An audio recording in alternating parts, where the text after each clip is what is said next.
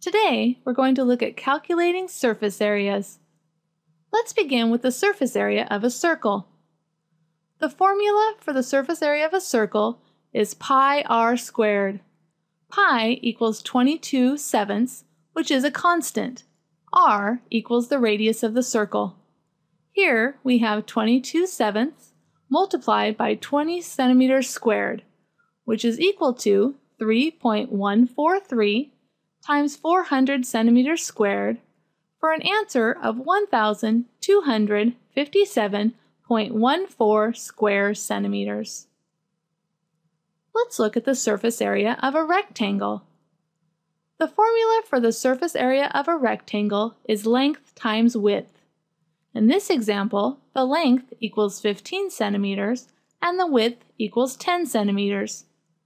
So 15 centimeters times 10 centimeters equals 150 square centimeters. Now we will look at the surface area for a triangle. Here the formula is 1 half the base times the height. So let's take 1 half the base, or 1 half of 8 centimeters, which equals 4 centimeters. Now we can put that number into the formula. The area would be 4 centimeters times 10 centimeters, which is equal to 40 square centimeters. And that's the end of the lesson brought to you by Kizmath.com.